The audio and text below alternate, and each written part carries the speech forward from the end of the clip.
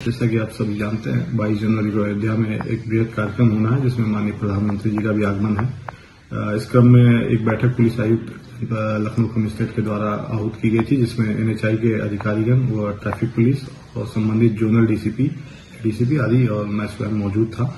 इसमें जो मार्ग है, जो अयोध्या जाने के लिए, उसको सुगम बनाया जाए, श्रद्धालुओं के लिए और जो भी गेस्ट आएँगे उनके लिए इस पर विचार विमर्श किया गया। वर्तमान में जो मार्ग है वो कामता चिन्हट मटियारी होते हुए लोग, बाराबंकी होते हुए अयोध्या जाते हैं। उसके जो वैकल्पिक मार्ग हैं, दो अन्य वैकल्पिक मार्ग है जिसका प्रयोग कम किया जा रहा है, इसका प्रचार प्रसार किया जाए।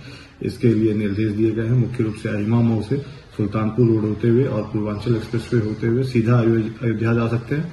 अदरवाइज़ आप सुल्तानपुर रोड से ही किसान पथ लेकर के इंदिरा नहर होते हुए, बाराबंकी होते हुए अयोध्या जा सकते हैं। पर्याप्त इसमें साइनेजेस लगवाया जाए मुख्य रूप से शहीद पथ पे साइनेजेस लगवाया जाए जिससे लोगों को ज्ञात हो सके कि अयोध्या जाने के लिए मार्ग यह है।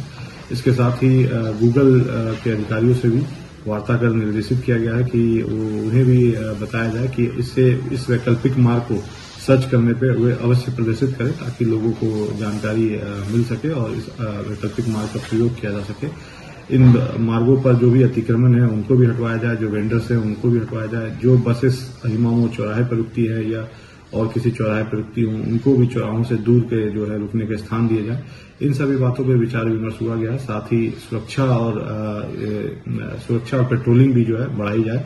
इसके लिए मुख्यालय से आवश्यक हो तो अतिरिक्त पीआरबी की मांग की जाए, जो किसान पथ और आउटर रिंग रोड इन पे जो है पेट्रोलिंग बढ़ाई जाए। सीसीटीवी के लिए भी आग्रह किया गया है। एनएचआई के अधिकारियों द्वारा बताया गया है कि शहीद पथ पर उनके द्वारा नगर निगम के माध्यम से लगवाया गया है इसके।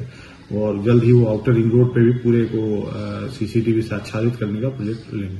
सर भारी संख्या में लोग अयोध्या पहुँचेंगे। सोशल मीडिया का जमाना है तो क्या सोशल मीडिया के पेजेस से भी अयोध्या मार्ग के जो नए मार्ग बनाए जा रहे हैं, पूर्वांचल एक्सप्रेस से, उसको भी अवगत लोगों कराया जाएगा? जी, बिल्कुल जैसे जैसे वहाँ साइनेजेस लगते जाएँगे, हम उनके फोटोग्राफ्स आदि लेकर के सोशल मीडिया पर भी प्रचारित करेंगे, आपके माध्यम से भी बताएँगे गूगल मैप के माध्यम से भी बताएँगे। ज़्यादा से ज़्यादा लोगों को मोटिवेट करेंगे कि वो इस अल्टरनेट मार्ग का प्रयोग करें, जो कि चौड़ा भी है और ट्रैफ़िक कम है और आसानी से वो बिना किसी समस्या के पहुँच सकते हैं तो इसका मैक्सिमम जो है प्रचार प्रसार किया जाएगा। हमसे जुड़े रहने के लिए हमारे YouTube चैनल को सब्सक्राइब करें और नई वीडियो की नोटिफिकेशन के लिए बेल आइकॉन को दबाएँ। अगर आप ये वीडियो Facebook पर देख रहे हैं तो लाइक ज़रूर करें और ज़्यादा से ज़्यादा शेयर करें। धन्यवाद। हमसे जुड़े रहने के लिए हमारे YouTube चैनल को सब्सक्राइब करें और नई वीडियो की नोटिफिकेशन के लिए बेल आइकॉन को दबाएँ।